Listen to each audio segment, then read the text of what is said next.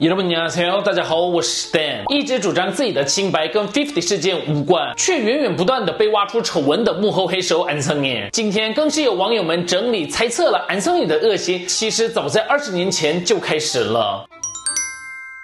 九十年代末，与 H.O.T 划分韩国音乐市场的天团 Jackie，在二零零零年突然的宣布解散了，因为事情发生的太突然，导致粉丝们都非常怀疑这解散一定藏着什么阴谋。而在二十多年过去之后，有网友发现到，在 Jackie 解散的一年前，一九九九年发表的第四张专辑中，有三首歌是安森野编曲的歌曲。在安森野担当编曲的一年后 Jackie 宣布解散之后，成员金杰的强素文就搬到了安森野以制作总监所属的。CAP 娱乐以新团 J-WORK 重新出道了。一开始获得很多人气的 J-WORK，在发表第二张专辑后，公司就因为资金问题倒闭。在公司倒闭之后，J-WORK 就搬到了安松就代表的 Kiss 娱乐，而 Kiss 娱乐的音乐总监也是安松尼。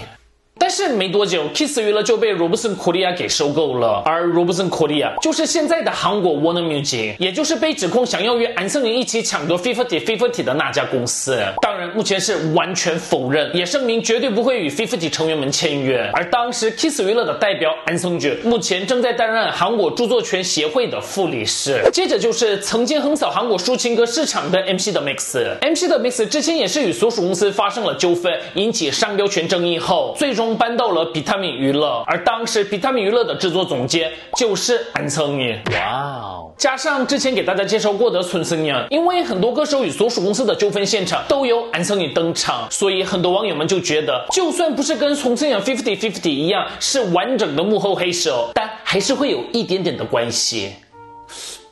跟他见面就会发生与所属公司的纠纷。最好笑的是，现在有很多有名的人站出来公开支持 Fifty 所属公司代表，却没有一个人站出来替安森尼说话，就知道他的人生是怎么过的。人果然还是要学历史，真的是可以在韩国乐坛史上永垂青史的人。Fifty 成员们跟父母们都知道这个真相吗？太蠢了！他应该也希望这次的 Fifty 事件也能跟之前一样，就那么过去了吧。